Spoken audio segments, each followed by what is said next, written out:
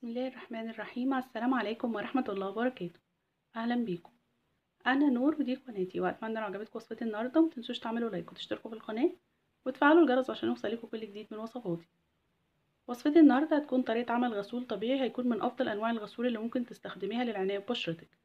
كل مكوناته طبيعية وآمنة جدا في الاستخدام ونتائجه هتكون من أروع ما يكون. نبتدي بقى نشوف الطريقة والمكونات. أنا هحتاج للشاي الأخضر وده بيكون شكله. طبعا نقدر نستخدم أوراق الشاي الأخضر بالشكل ده ونستخدم أكياس الشاي الأخضر حسب المتوفر عندك. الشاي الأخضر ده بيغذي البشرة جدا وبيمنحها نضارة ونعومة وبيفتح البشرة وبيوحد لونها وبيقاوم ظهور التجاعيد لأنه بيحتوي على مضادات الأكسدة. كمان بيعالج حب الشباب وبيمنع انتشاره على البشرة وبيجدد خلايا البشرة وبيخلصك من الجلد الميت وبيحتوي على مضادات للالتهابات وللبكتيريا فيساعد على حماية بشرتك. كمان بيكون مفيد جدا لأصحاب البشرة الدهنية لأنه بيقلل من إفراز الدهون على البشرة وبيقضي على الهالات السوداء حول العين وبيعمل على غلق المسام الواسعة الشاي الأخضر ده من أفضل الحاجات اللي ممكن تستخدميها للعناية ببشرتك. لعمل الوصفة بقى أنا هحتاج لمعلقة كبيرة من الشاي الأخضر. هجيب بقى كده طبق وهبتدي بقى أضيف فيه معلقة من الشاي الأخضر. هحتاج للنعناع والنعناع له تأثير مهدئ ومنعش على البشرة فبيساعد على استرخاء البشرة ومنحها إشراقة ولمعان. وبيساعد في إزالة آثار حب الشباب وعلاجه لأنه بيكون مضاد قوي للبكتيريا. كمان بيزيل الرؤوس السوداء وبيتحكم في إفراز الدهون لأصحاب البشرة الدهنية وبيرطب البشرة جدا لأنه بيساعد على حبس الرطوبة وشد المسام. وبيأخر علامات تقدم السن زي التجاعيد والخطوط الرفيعة وبيقلل من ظهور الهالات السوداء حول العين ودي بتكون من أهم فوائده. كمان بيعمل قواقي طبيعي من الشمس وبيشفي من آثار حروق الشمس على البشرة وبيكون مضاد للالتهابات لأنه بيخفف من تهيج البشرة والحك. هضيف بقى دلوقتي على مقدار معلقة الشاي الأخضر معلقة من النعناع. هجيب بقى كوباية من المية السخنة وهضيفها على معلقة الشاي الأخضر ومعلقة النعناع. هضيف بقى كده المية السخنة بسم الله.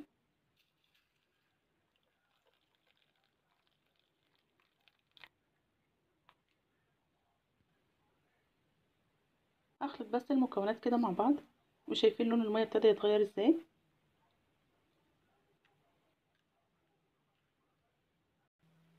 هسيب بقى المكونات منقوعة في المية كده لمدة ساعة كاملة والأفضل كمان لو سبتها من بالليل لغاية الصبح يعني هتسيبها لمدة ليلة كاملة عشان تتأكدي إن النعناع والشاي الأخضر نزل كل فوائده في المية.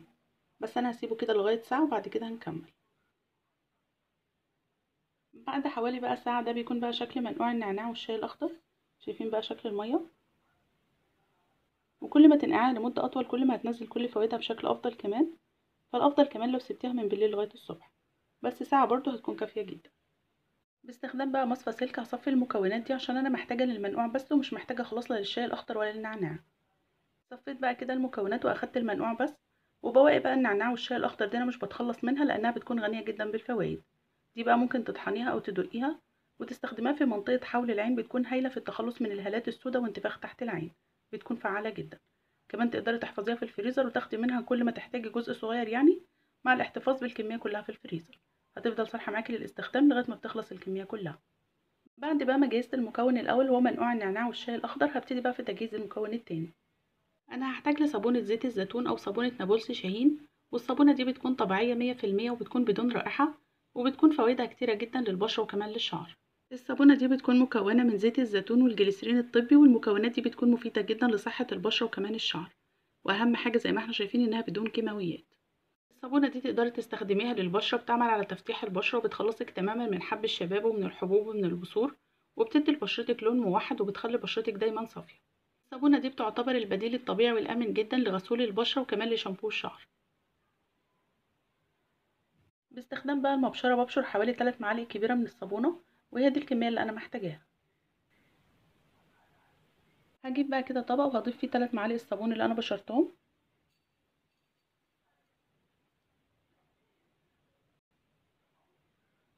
جهزت بقى كده الصابون المبشور ومنقوع النعناع والشاي الأخضر ودي بتكون المكونات الرئيسية عندي في الوصفة هبتدي بقى دلوقتي في عمل الوصفة. هجيب بقى الصابون المبشور وهضيف عليه منقوع النعناع والشاي الأخضر.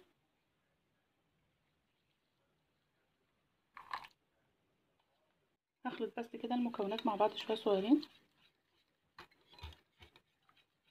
طبعا كل ما تبشري الصابون ناعم كل ما يدوب معاكي بشكل أسرع.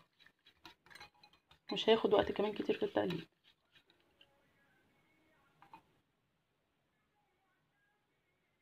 هحتاج بقى لمقدار ربع كوباية من ماء الورد.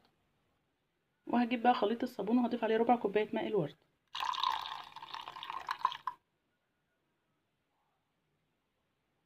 هضيف بقى دلوقتي على الغسول مقدار معلقة كده من العسل.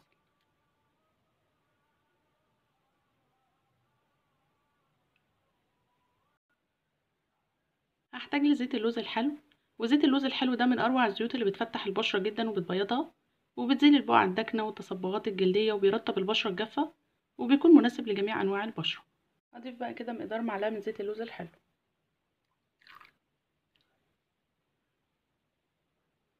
هحتاج لزيت النعناع وزيت النعناع ده أنا عملته قبل كده في القناة بطريقة ناجحة جدا هسيب لكم لينك الوصفه في صندوق الوصف. عملته بطريقة صحيحة هيكون محتفظ بلونه وريحته وكل فوائده. أضيف بقى دلوقتي على الغسول مقدار معلقة كده من زيت النعناع.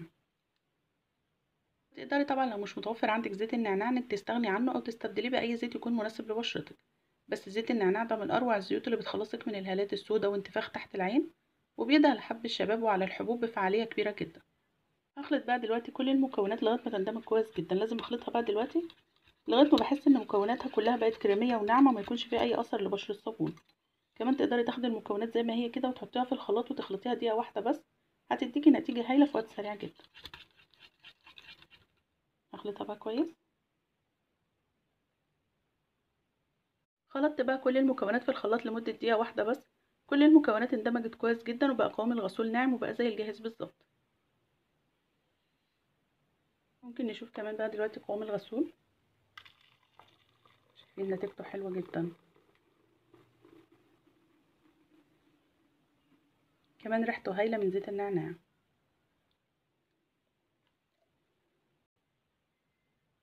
هجيب بقى دلوقتي علبه نظيفه أنا غسلتها كويس جدا ونشفتها وهضيف بقى فيها الغسول. ولازم تكون العلبة جافة تماما ما يكونش فيها ولا نقطة من الماء عشان الغسول ما يفسدش كمان العلبة بالشكل ده هتسهل جدا استخدام الغسول على البشرة. وده بيكون بقى الشكل النهائي للغسول بعد ما ضفته في العلبة. بقفل بقى عليه العلبة واحتفظ بيه في التلاجة بيكون صالح للاستخدام في التلاجة من 15 ل 20 يوم. لكن لو حابه تحتفظي بيه خارج التلاجة هيكون صالح للاستخدام لحوالي خمس أو ست أيام بالكتير جدا. فيفضل يعني انت تعملي كمية صغيرة وتجدديها بانتظام. ده بيكون أفضل عشان تحافظي على صلاحيه وفعاليه المكونات. نيجي بقى لطريقة استخدام الغسول. عشان تاخدي بقى أفضل نتيجة من الغسول ده هتستخدميه مرتين في اليوم مرة الصبح ومرة بالليل قبل النوم. هتاخدي بقى جزء صغير من الغسول وتغسلي بيه كامل الوجه والرقبة والإيدين وتدلكيه بحركات خفيفة جدا لمدة دقيقة أو دقيقتين. بعد كده هتسيبيه على البشرة لمدة دقيقة كمان أو دقيقتين عشان بشرتك تستفيد كويس جدا بكل مكوناته. كمان كل مكوناته طبيعية فهتكون آمنة جدا في الاستخدام فما تقلقيش خالص لو سبتيها لمدة دقيقة أو دقيقتين على البشرة. بعد كده بقى تغسلي بشرتك في الأول بالمية الدافية وبعد كده بالمية الباردة وممكن بقى ترشيها بماء الورد أو ترطبيها بأي كريم مرطب يكون متوفر عندك. كمان بتراعي إن كل مرة تيجي تستخدمي فيها الغسول إنك ترجي الإزازة كويس جدا. كمان لو عاملة كمية كبيرة تحتفظي بيها في التلاجة وتخرجي كمية صغيرة وكل ما بتخلصيها بتاخدي جزء تاني من اللي موجود في التلاجة. يعني لو في كمية كبيرة لازم تحتفظي بيها في التلاجة عشان تحافظي على صلاحيتها لأطول فترة ممكنة. مع المداومة بقى والانتظام على استخدام غسول الشاي الأخضر والنعناع هتكون نتائجه مذهلة في تفتيح البشرة وتبييضها وتوحيد لونها؟ كمان بيكون ليه تأثير مهدئ ومنعش على البشرة فيساعد على استرخاء البشرة ومنحها إشراقة ولمعان وبيكون فعال جدا في إزالة آثار حب الشباب والحبوب والبثور. كمان بيعالجها وبيمنع انتشارها على البشرة لأن الغسول ده بيكون مضاد قوي جدا للبكتيريا. يعني الغسول ده بيكون مفيد لأصحاب البشرة الدهنية لأنه بيتحكم في إفراز الدهون وبيرطب البشرة جدا لأنه بيساعد على حبس الرطوبة وبيعمل على شد البشرة وبيأخر علامات تقدم السن زي التجاعيد والخطوط الرفيعة. وبيقلل من ظهور الهالات السوداء وانتفاخ تحت العين ودي بتكون من أهم فوائده. كمان بيعمل كواقي طبيعي من الشمس وبيشفيكي من آثار حروق الشمس وبيكون مضاد للالتهابات لأنه بيخفف من تهيج البشرة والحكة. كل المكونات المستخدمة في عمل الغسول دي بتكون طبيعية مية في المية. كمان بتكون آمنة جدا في الاستخدام على البشرة وبتكون نتائجها مذهلة. بتكون مفتحة ومرطبة وبتكون مضاد للبكتيريا فبتعالج آثار الحبوب وحب الشباب وبتكون علاج فعال للهالات السوداء وانتفاخ تحت العين. الوصفة دي بتكون من الوصفات المهدئة جدا للبشرة وفي نفس الوقت بتكون وصفة علاجية. ممكن نشوف بقى دلوقتي كمان قوام الغسول بعد ما سبته لمدة طويلة. شايفين بقى قوام الغسول؟ نتيجته هايلة. وقوامه كريمي وناعم جدا. شايفين بقى قوامه نفس الجهاز بالظبط.